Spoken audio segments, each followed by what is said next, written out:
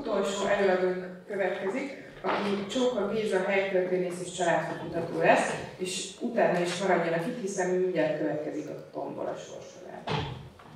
Nagy szeretettel és üdvözlettel köszöntök mindenkit. Nagyon hálátlan szerep így utolsónak lenni, úgyhogy akik mindig maradtak, azok számomra mind hősök, hogy ezt megvárták ezt az előadást. Nem is akarom szabadítani tovább a szót. Monali Erdő templomos helyéről fogok beszélni. Én 2016-ban adtam ki egy monográfiát első ízben a Monali Erdő település történetével kapcsolatban. Hát egy rögtön 10 évben ment rá, úgyhogy ezt most egy 15 percen megpróbálom belesülni. Az első említések. Gondolom mindenki tudja, hogy 1324. március 23-án volt Újfalunak az első említése. Érdemes elmondani, hogy azért Újfalu, mert így, hogy Monali Erdő, ez így majd csak egy 19. századi fogalom lesz, tehát a középkori elődje az Újfalu volt. Nagyon nagy szerencsém van, nem úgy, mint például Maglódnak, vagy esetleg Monornak, hogy egy, illetve négy darab ilyen településnél van. Hála Istennek ebből volt 70 darab az országban, úgyhogy marha jó volt ezeket végignézegetni és beazonosítani, hogy ez az új falu ez egyáltalán hozzánk tartozik-e vagy sem. De térjünk rá inkább, tényleg inkább templom történetre, illetve egyház történetre. 1332-37-ben volt a pápai tizedjegyzékeknek az összeírása, ahol szerepel egy novai páp plébános, megfoghatatlan, köszönjük szépen. Valószínűleg nem hozzánk tartozik, mert ekkor is rengeteg új falu, tehát új nova település létezik.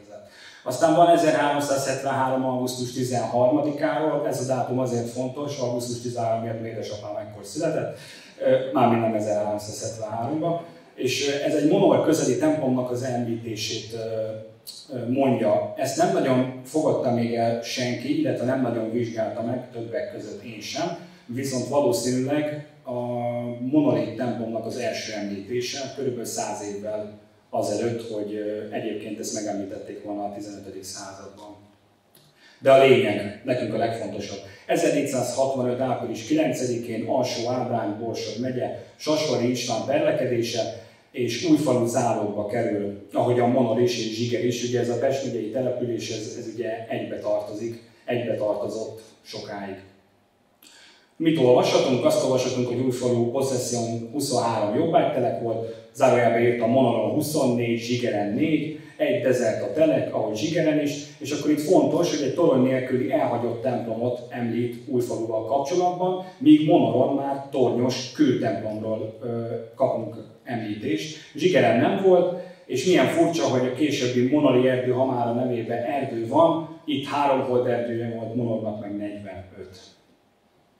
Sokáig ezt keresztelő medencének hitték, de ez badarság ez egy kőmuzsár, ami viszont az újfalui templomból származik. Ez az majdnem az egyetlen. Kettő darab ilyen emlékünk van, ami megmaradt a templomból, majd elmondom, hogy miért.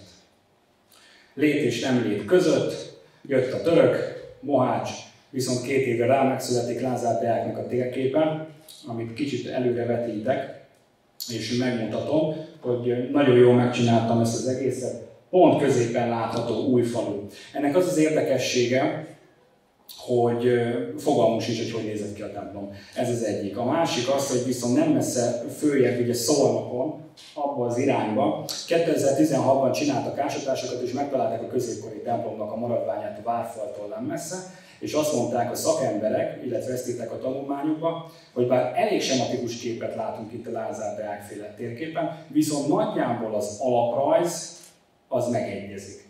Tehát elképzelhető, hogy ez az újfalui templom, ami bár itt egyébként tornyosan látszódik, de 60 évvel ezelőtt még torony nélküli volt, lehet, hogy mégiscsak így nézhetett ki. Egyébként, ha jobban megnézik majd ezt a térképet, nem fognak két ugyanolyan, nem is az, hogy település nevet, hanem ahhoz tartozó ábrát találni. Elképzelhető, hogy ezeket nagyjából úgy mérték föl, úgy vizsgálták meg, ahogy kinézhetett. De még kicsit visszaugrok. 1728-ban már azt írják, hogy romtemplom, tehát hogy nem, nem igazán használják. Ja, bocsánat, még visszább, rosszat nyomtam.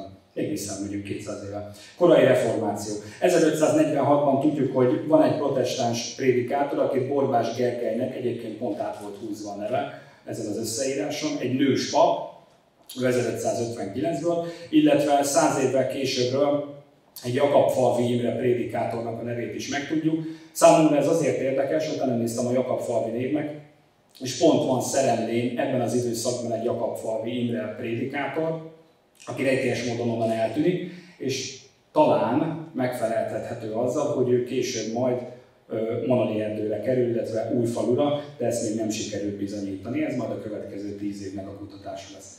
1570-ben az Egri Szent János könyvben való szereplés is megtörténik, illetve lehet látni, hogy a környező településeken ugyanúgy vannak katolikusok, kávinisták és egyéb felekezetből.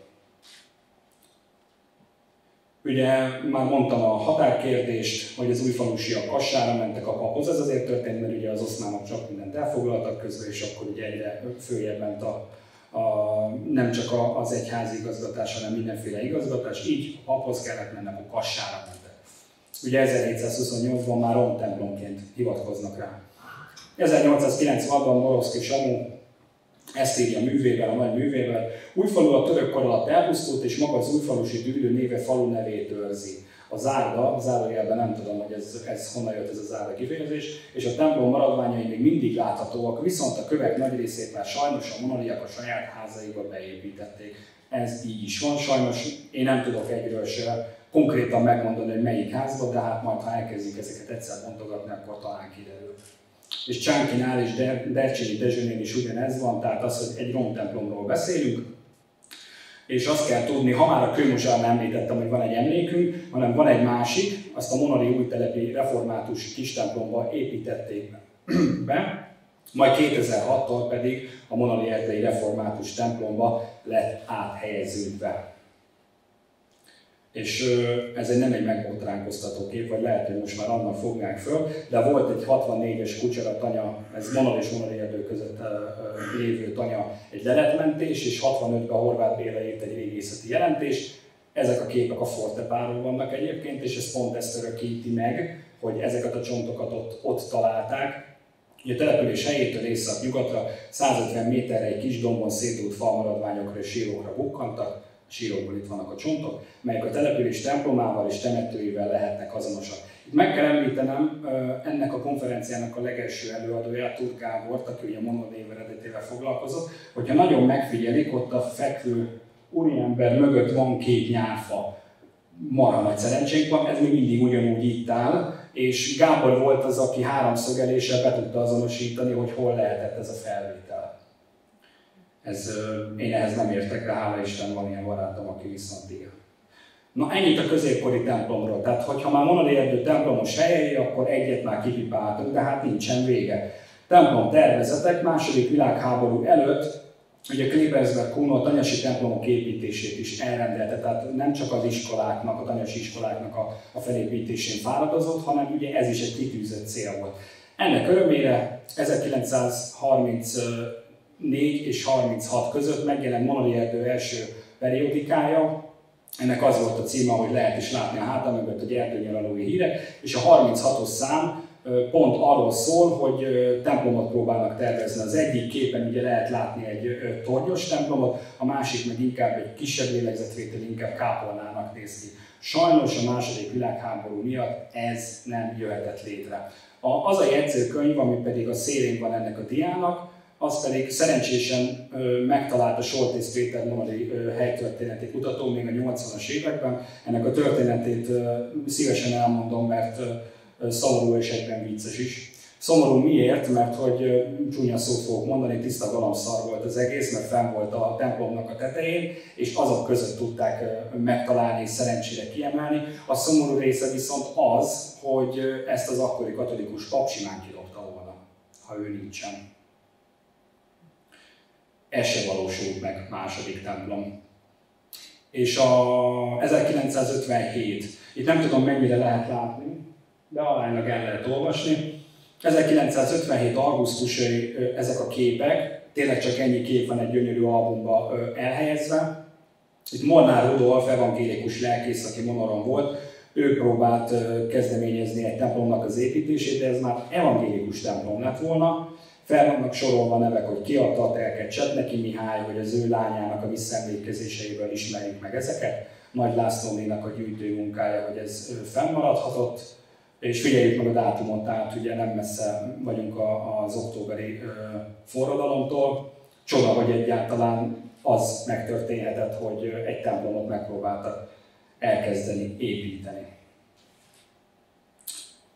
Sajnos ez sem, ez sem sikerült. Viszont ami elkészült.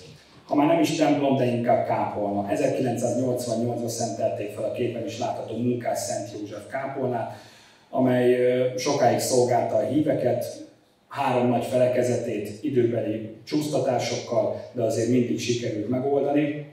És ami a legfontosabb, hogy a legutóbbi időben elkészült a református templom, ezt 2019-ben adták át, Lénár Tibor nagy tiszteletű úrnak a vezetésével, szerencsére ez megvalósulhatott, és akkor a, a képen egyrészt a templomot láthatjuk, nem én fotóztam ezt, bár csak ezt találtam, de elég rossz, hogy mindenféle, mindenféle belelóg.